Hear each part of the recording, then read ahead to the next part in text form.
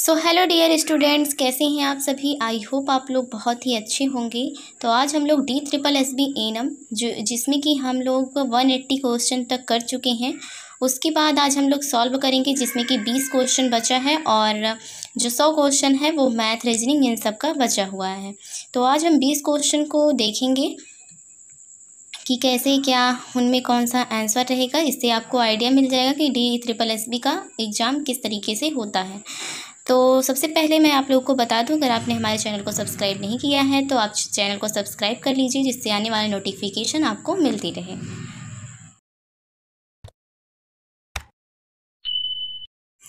Eighty one question से देखना है कि कनपेडा के लिए उद्भवन अवधि क्या होती है। अच्छा कनपेडा आपको पता है कि क्या होता है। कनपेडा जो होता है, इसको हम इंग्लिश में भी बताएँगे तो आप लोग शायद समझ जाएँ। तो कनपेडा को हम कहते हैं इंग्लिश में मम्स तो मम्स की जो उद्भवन अवधि होती है, जिसको हम इंक्यूबेशन पीरियड कहते हैं, वो कितने दिन की होती है? तो अट्ठारह दिन की इनकी, इसकी इंक्यूबेशन पीरियड इसका जो होता है, वो होता है मम्स ठीक है? और मम्स के लिए नाइन मंथ पे एक इंजेक्शन इंजेक्शन भी लगता है एमएमआर का टीका जो कि बच्चों में लगता है एमएमआर का। तीनों वैक्सीन का कंबाइन टीका दिया जाता है। कंबाइन इंजेक्शन दिया जाता है, जिसमें एमएमआर मीजल्स मम्स रुबैला तीनों इंक्लूड रहते हैं। निम्न में से कौन आक्रांत करने के बाद आजीवन प्रतिरक्षा देता है? इसका कहने का मतलब ये है कि अगर ये बीमारी एक बार किसी को भी हो जाती है, ज़्यादातर तो बच्चों में ही देखी जाती है बीमारी तो कौन सी ऐसी बीमारी है इसमें से जो दिया गया है? इसमें से कौन सी ऐसी बीमारी है जो एक बार हो जाती है तो हमेशा जीवन भर के लिए ये क्या करती है? कि प्रतिरक्षा दे देती है। तो इसके लिए राइट ऑप्शन बी होगा, जिसको हम कनपेडा या मम्स के नाम से जानते हैं। अगर ये बीमारी एक बार हो जाती है तो हमेशा के लिए प्रतिरक्षा का काम करती है, क्योंकि जो इसका वायरस होता है, वो जब जाता है अंदर हमारे तो क्या होता है कि एक बार जब हो जाता है तो फिर जब दोबारा अटैक करता है तो हमारी जो इम्यूनिटी पावर होता है, उसको पता हो जाता है कि हाँ इसको किल्ड करने के लिए हमें कितनी चीज़ों की ज़रूरत होगी। तो जब नेक्स्ट बार होता है तो वो नहीं होता है। ये बीमारी, ठीक है? नेक्स्ट क्वेश्चन कौन सा है कि छोटी माता की संबंधित अवधि है? तो जो छोटी माता का इसका पूछने का मतलब ये है कि इसका इंक्यूबेशन पीरियड कितना होता है? जो छोटी माता होती हैं, उनका इंक्यूबेशन पीरियड कितना होता है? तो इसमें जो राइट ऑप्शन बी हो जाएगा, दरौरा के बाद चार से पाँच दिन। दरौरा मतलब होता है रैशेस जब जो रैशेस रेड रेड कलर के होते हैं, जब वो हो जाता है तो उसके चार पाँच दिन तक ही ये रहती हैं छोटी माता। नुकीले उपकरणों को इस प्रकार विसंक्रमित किया जाता है। तो नुकीले जो उपकरण होते हैं, जो सार्प चीज़ें होती हैं, उनको किस तरीके से स्टलाइज किया जाता है, ये किसका पूछने का मतलब है?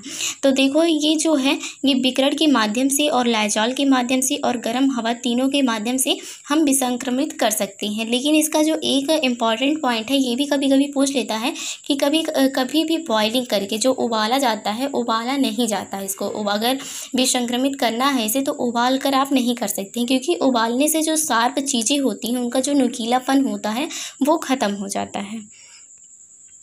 नेक्स्ट क्वेश्चन क्या है? कि निम्न में से कौन सा बलशाली रोगाणुनाशी है? तो कौन सा रोगाणुनाशी है? इसका कहने का मतलब ये है कि अगर स्टरलाइजेशन करना है तो कौन सा सबसे बलशाली, सबसे ज़्यादा स्ट्रॉन्ग है कि अगर उसको, उससे अगर आप कुछ भी करते हैं रोगाणु नाश करते हैं तो किल्ड हो जाएँगे जितने भी रोगाणु हैं। तो वो होता है फिनाल इसमें सबसे ज़्यादा है तो सारे इसमें डाइजॉल डेटाल, पोटेशियम सब बैक्टीरिया वायरस को किल्ड करते हैं, लेकिन सबसे ज़्यादा की बात किया है तो इसमें सबसे ज़्यादा फिनाल होगा। अच्छा आप लोग देखते होंगे हॉस्पिटल में जो है सफ़ाई जो होती है, उसमें भी फिनाल का यूज़ किया जाता है वो, इसीलिए क्योंकि जितने भी इन्फेक्शन हुए रहें, जितने भी बैक्टीरिया, वायरस इधर उधर उड़ रहे हों, वो सब क्या हो, किल्ड हो जाएँ।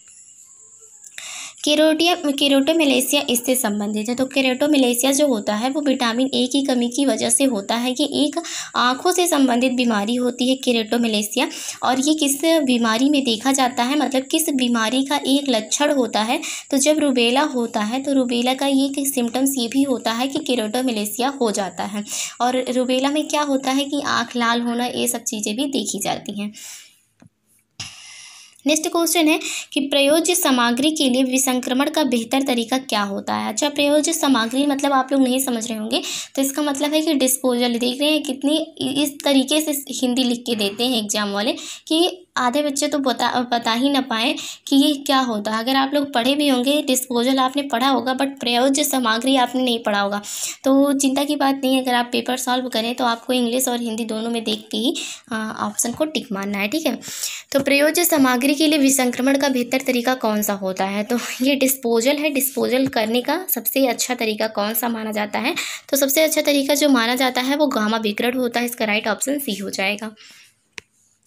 नेक्स्ट एक क्वेश्चन है कि अनुलंब प्रसारण इनके द्वारा होता है। अनुलंब प्रसारण मतलब पता है? आपको वर्टिकल वर्टिकल प्रसारण किसके द्वारा होता है? तो देखो, जो वर्टिकल होता है वर्टिकल तरीके से जो होता है, वो ना तो मच्छर के द्वारा होता है, ना तो सीधा संपर्क से होता है, ना तो बूथ से होता है। मतलब बूथ मतलब ड्रॉपलेट इन्फेक्शन तो आप लोग को पता है कि ट्यूबर क्लोसिस और फूपिंग कफ इन सब में देखा जाता है। और सीधा संपर्क आपको ये भी पता है कि एच वगैरह में देखा जाता है। और मच्छर से तो डेंगू वगैरह होता है तो ये जो होता है वर्टिकल प्रसारण, ये कीड़े जिसको हम प्लेसेंटा के नाम से जानते हैं तो प्लेसेंटा के थ्रू होता है वर्टिकल प्रसारण। नेक्स्ट क्वेश्चन देखते हैं। वन एट्टी थ्री हो गया। नेक्स्ट क्वेश्चन है, किसे फैलने से रोकना अत्यंत मुश्किल है? किसे फैलने से रोकना अत्यंत मुश्किल है? तो इसका राइट ऑप्शन क्या होगा? आप लोग बताइए थोड़ा। तो इसका जो राइट ऑप्शन हो जाएगा, वो क्या होगा कि वायुवाहित अच्छा आप लोग देखिए रोग वाहक होगा या फिर आदमी से आदमी मतलब इंसान से इंसान में होगा और वायुवाहित होगा, जलवाहित होगा। देखो, एक चीज़ बताती हूँ। इसका पूछने का मतलब है कि कौन सी ऐसा मतलब अगर किसी को बीमारी हुआ है, अगर कोई चीज़ बीमारी हुई है और अगर वो वायु में फैल गई है वायु से फैल रही है। तो वायु तो ऐसी चीज़ होती है ना कि जिसको रोकना बिल्कुल मुश्किल है कि आप ऐसा तो कर नहीं सकते कि हाँ यहाँ की वायु यहाँ तक ही जाए और यहाँ की जो हवा है यहाँ तक जाए। ऐसा हो नहीं सकता। वायु चलती रहेगी जहाँ तक मन करेगा उसका वहाँ तक ऐसे जाता रहेगा। तो वायु को नहीं रोक सकते हैं, ठीक है? और जल वाहित है तो जल निकासी भी आप कर सकते हैं कि अगर जल से कोई बीमारी फैल रही है तो वहाँ पे बाँध बना देंगे, डैम बना देंगे, जिसकी वजह से वहाँ, जहाँ तक कोई बीमारी है जल जनित तो वहाँ के बाद से अगर डैम बना दिया जाएगा, बाँध बना दिया जाएगा तो उसके बाद उसकी निकासी को रोक दिया जाएगा तो उसके बाद के एरिया में नहीं होगा। और आदमी से आदमी अगर किसी इंसान को कोई बीमारी हुआ है तो उसको क्या करेंगे, आइसोलेट में रख देंगे, आइसोलेशन में रख देंगे, जिसकी वजह से क्या होगा कि वो व्यक्ति कहीं नहीं जाएगा और किसी के संपर्क में नहीं आएगा तो वो बीमारी नहीं होगी। रोगवाहक भी इसी तरीके से होता है तो इसमें राइट ऑप्शन आपका होगा कि वायुवाहित जो बीमारियाँ होती हैं, वो क्या होती हैं कि उसको रोकना मुश्किल होता है। नेक्स्ट क्वेश्चन क्या है? कहाँ चला नेक्स्ट क्वेश्चन है कि जीव के प्रवेश करने के बाद अत्यधिक संक्रमण उत्पन्न करने की अवधि को क्या कहते हैं? अगर कोई भी जीव, जैसे बैक्टीरिया है, अगर व्यक्ति के अंदर इंटर कर गया है, व्यक्ति की बॉडी के अंदर इंटर कर गया है और अत्यधिक संक्रमण उत्पन्न करने, जब तक वो संक्रमण उत्पन्न करता है तो उसको क्या कहते हैं? तो उसको हम इंक्यूबेशन पीरियड कहते हैं। मेरे अकॉर्डिंग इंक्यूबेशन पीरियड होगा बट कुछ लोग इसका राइट ऑप्शन जो है, वो बी बता रहे हैं, उत्पादन अवधि, जिसको हम कहते हैं स्टडाइल इसको कहते हैं, क्या कहते हैं कि सीरियल इनक्यूबेटिव इनक्यूबेटिव पीरियड तो इसका कुछ लोग इसका उत्पादन अवधि बता रहे हैं और कुछ का कहना है बुकेस ने जो लिखा है, कुछ जगह पे इसका उद्भवन अवधि लिखा है, जिसको हम इनक्यूबेशन पीरियड कहते हैं तो इसका कन्फ्यूज़न का क्वेश्चन है तो आप लोग देख लीजिएगा कि इसका राइट ऑप्शन क्या होगा। तीव्र श्वसन रोग के प्रबंधन के लिए स्वास्थ्य सहायक कौन सी दवाई उपयोग करते हैं। अगर किसी को तीव्र श्वसन रोग हो गया है रिस्पायरेटरी प्रॉब्लम हो गया है तो उसके लिए स्वास्थ्य सहायक जो होती हैं, वो कौन सी बीमारियों का कौन सी जो दवा होती है मेडिसिन होती है, उसमें कौन सी दवा का यूज़ करती हैं। तो इसका राइट ऑप्शन ए हो जाएगा क्लोट्री मैक्सीजोल का यूज़ किया जाता है।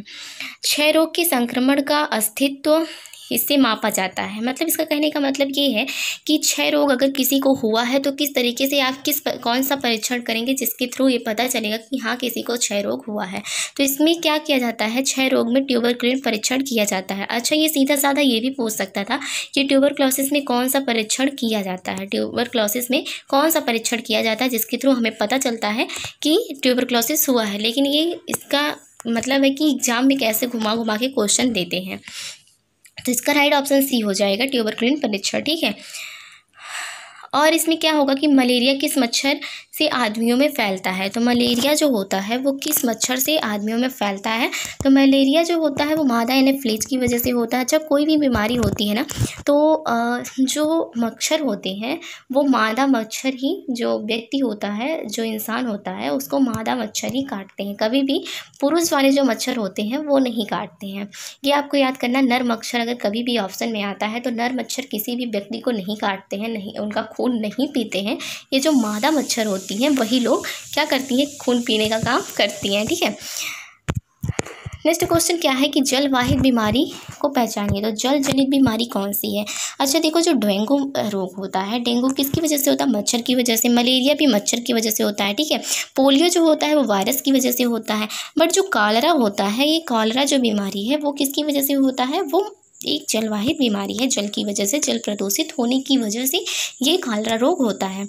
अच्छा नेक्स्ट क्वेश्चन क्या है कि डिम्बवाही नदी को निकालना और उसको बांधना? निकाल के उसको बांधना क्या कहते हैं? तो डिम्ब वाहिनी का मतलब होता है कि फेलोपियन ट्यूब। क्या होता है?